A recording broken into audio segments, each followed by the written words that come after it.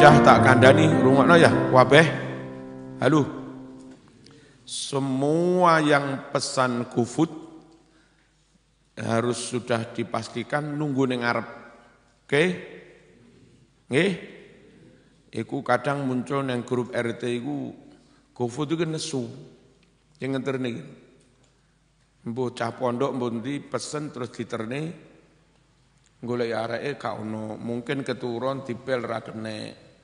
Padahal itu kadang COD bayar di tem di tempat nesu wong ya. Halo.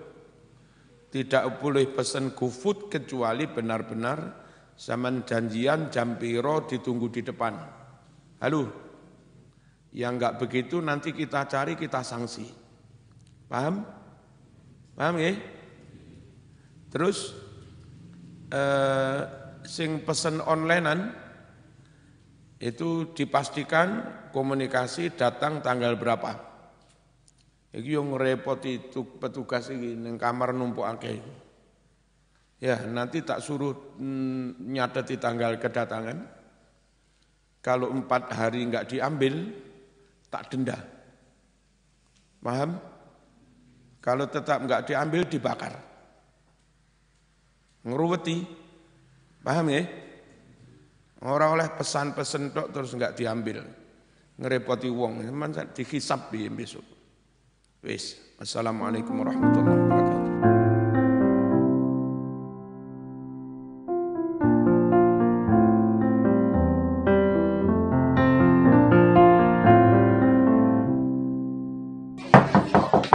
Assalamualaikum warahmatullahi wabarakatuh.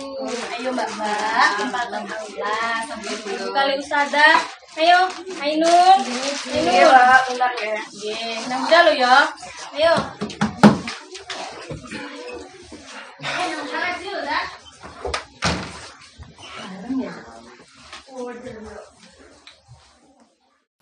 Assalamualaikum warahmatullahi wabarakatuh. Waalaikumsalam warahmatullahi wabarakatuh. Jadi adik-adik semua berdasarkan keputusannya dalam Gus Ning dan juga Sedatang Ustazah sepakat untuk menambah jadwal piket. Nah, untuk piket area dalam nanti dijadwalkan untuk kamarnya di Ainun. Dan untuk piket area aula dan halaman dijadwalkan untuk kamarnya di Wardah.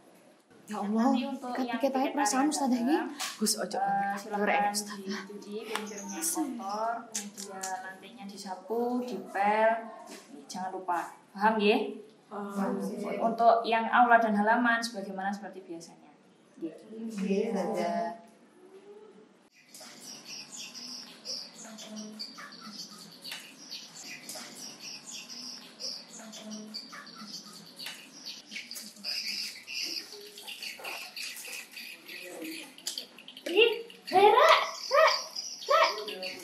Ya apa? Hera. Kocok mana dalam? Ya apa? Habis kucing. Ya apa sih? Duh. Sik sik, pipis kucingku najis berawat situ enggak sih? Oh, enggak sih toh. Tak tahu sama ambilkan susu ya. Sik.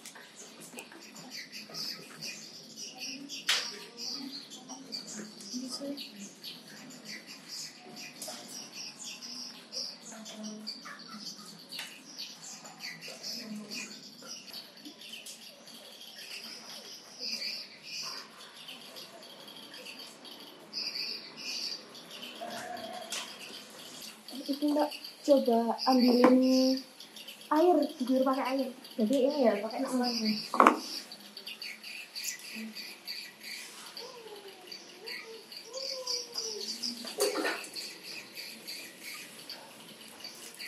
Iya, iya, tolong Tiara. Cici nggak mau. Iya, apa sih? Cici, ada apa sih mbak? Gimana sini?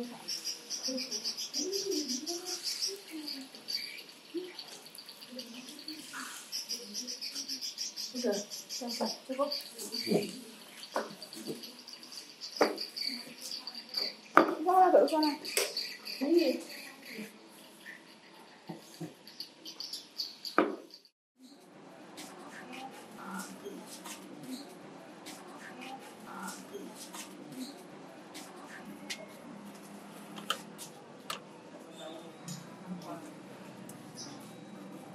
Assalamualaikum. Waalaikumsalam. Ambil paketan. Tas nama? Ainun. Paketannya apa? Tahu dari ibu.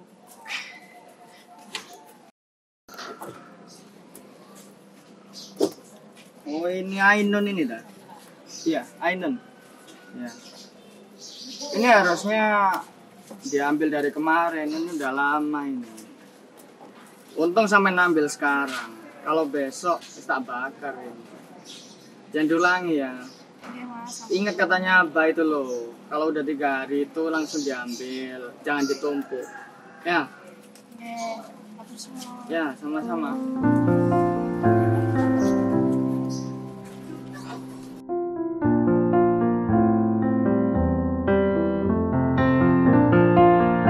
Kemarin kita sudah maknai bareng-bareng kitabnya, jadi sekarang waktunya saya menjelaskan penjelasan rututnya. Ada yang masih ingat kemarin saya bab apa? Saya Ustazah, Ya, bab najis. ya oke, bab najis. Jadi eh, najis itu dibagi menjadi tiga macam. Najis yang pertama adalah najis mukhafafah. Najis mukhafafah adalah najis eh, kategori ringan. Contohnya seperti air kencingnya bayi laki-laki yang eh, cuma minum air ASI ibunya saja. Terus yang kedua adalah najis mutawasitoh atau najis kategori sedang. Contohnya adalah pipisnya kucing. Terus yang terakhir adalah najis mughalato. Najis mughalato adalah najis kategori paling berat. Contohnya seperti air liurnya anjing. Ada yang mau bertanya? Saya Ustazah, bagaimana cara membersihkan najis mutawasito? Oke, cara membersihkan najis mutawasito. Seperti yang kita ketahui, najis mutawasito itu termasuk kategori najis yang sedang. Jadi cara mensucikannya adalah yang pertama dihilangkan dulu ainiyah najisnya. Jadi dihilangkan dulu bau, rasa, dan warna najisnya. Baru kemudian disiram dengan menggunakan air yang suci dan mensucikan. Gitu. Jadi gitu caranya. Enggak Ustazah, matur nuwun.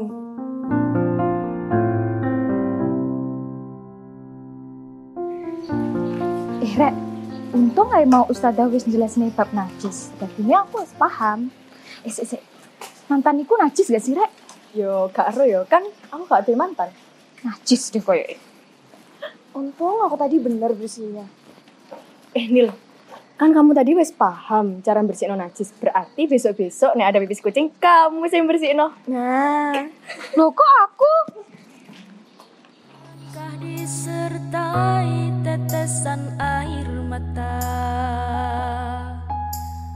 Canda dan tawa rela dilepaskannya